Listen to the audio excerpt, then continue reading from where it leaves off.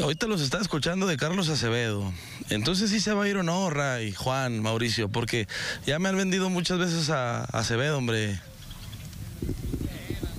Acevedo, hombre. No, no, no. A ver, este es un nuevo rumor que, que, que inclusive surge de la capital, por eso lo estamos sacando. De Cruz Azul, ¿tú qué opinas? A ver, danos tu opinión. Estás jugando gol, pero también puedes opinar.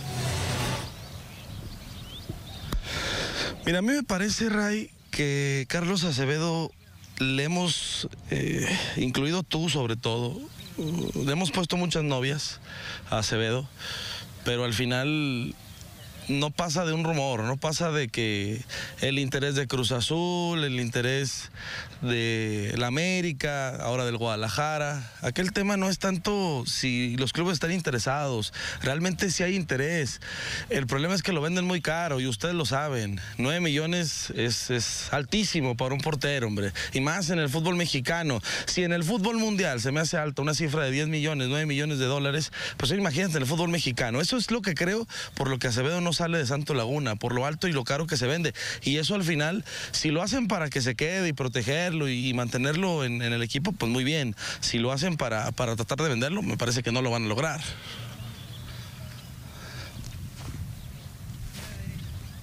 Sí, yo creo que partimos de ahí, ¿no, Juan? O sea, obviamente interés hay, el elevado costo es el que hace que, que, los equipos pregunten y digan, no, bueno, pues muchas gracias. Esperemos que el Santos, pues también dé, dé cierto pronunciamiento que no es muy adicto o afecto a eso.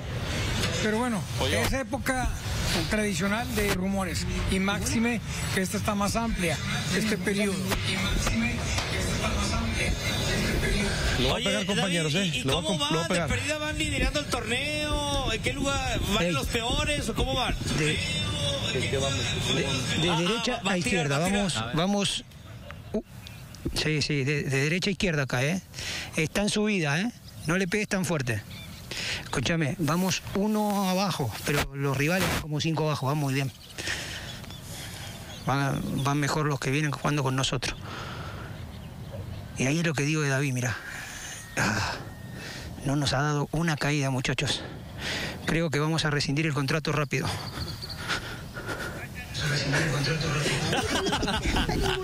No, no. No, no. No, no. ¿Lo vas a invitar al otro torneo, Loro, o no? Era la mía, boludo. Que si me vas a invitar, que si me vuelves a, vas a volver sí. Sí, sí, sí, sí, sí, lo vuelvo a invitar, sí, sí, porque tiene que manejar el carro. Para que vean, compañeros, por lo menos si me quieren y me echa por el No, bueno, pues así sí, mi Loro. Oye, me gusta ese rito, ¿eh? ¿Se sabe en qué lugar van, Loro? ¿O cómo están tirando ahorita? ¿Sabe en qué lugar van, Loro? Fíjate que se supone que aquí es de, de honestidad. Tú le, le, le vas escribiendo los puntos a tu rival, en este caso a la prensa amiga, ellos a nosotros. Tú sabes que yo no soy honesto. Yo le quité varios puntos a ellos, no se han dado cuenta. Eh, ahí le escribí mal la calificación a ellos, entonces vamos ganando. Vamos arriba, casi la mete el oro, ¿eh? Casi la mete el oro. Este, pero vamos arriba, compañeros, vamos arriba. Está bonito el, el, campestre, por cierto. Los paisajes son espectaculares. De aquí los veo, compañeros. De aquí los veo.